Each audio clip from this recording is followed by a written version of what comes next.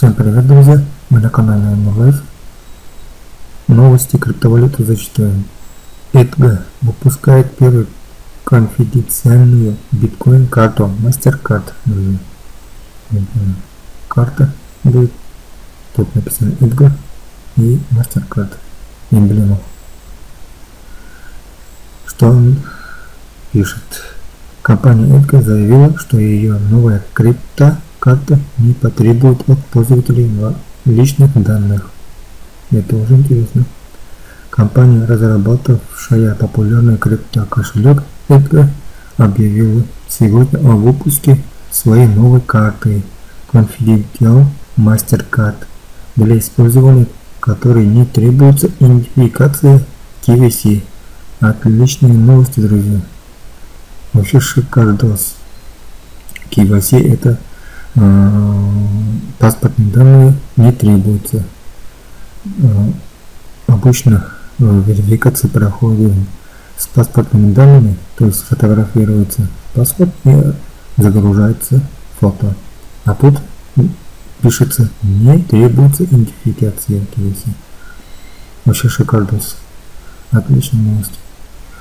Дальше читаем. По словам генерального директора Эдварда Пола Пью, чтобы пользоваться картой, не нужно будет ни имя, ни номер телефона, ни адрес электронной почты.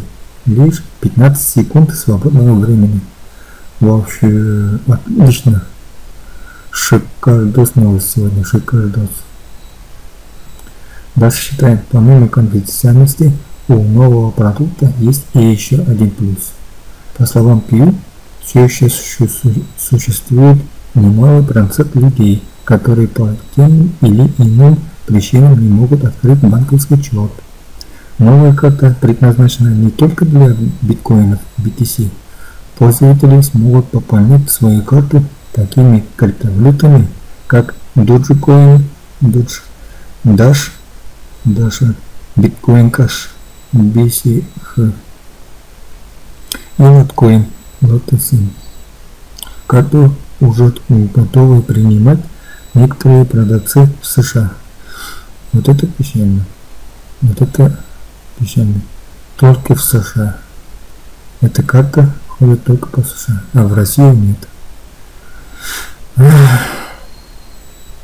Нет. Дальше читаем. В первое время после запуска у пользователей Edgar MasterCard будет дневной лимит расходов в 1000 долларов. Возможность пользоваться только Apple Pay, Google Pay и Samsung Pay. Добавят позже. Для того, чтобы пополнить карту пользователя, необходимо будет продать свою криптовалюту в кошельке и полученные доллары отправить на счет карты. Угу. Палата за пополнение не взимается, по словам Пью. Те, кто хочет совершать с помощью карты покупки в интернете могут беспрепятственно это делать с помощью реквизитов. Тут нет, конечно, реквизитов.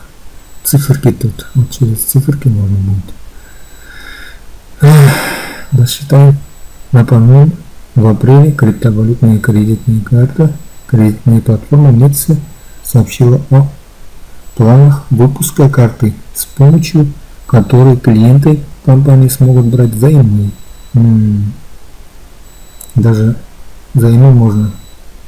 Шикарные карты, но они у нас работают.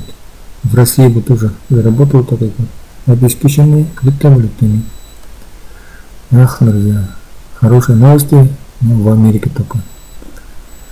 Вот к нам в Россию после того, после как при... когда приедет эта карта, когда будет, не знаю, отличные новости. Вот. Эдгар выпускает первую конфиденциальную биткоин-карту MasterCard, друзья. Ну ладно, будем ждать, когда появится, появится, друзья. Дальше, друзья. Вот мой канал, друзья. Заходите, заходите в гости, друзья смотрите мои видео, я сюда каждый, каждый день почти что выкладываю свои видео. Вот. смотрите, лайкайте комментируйте.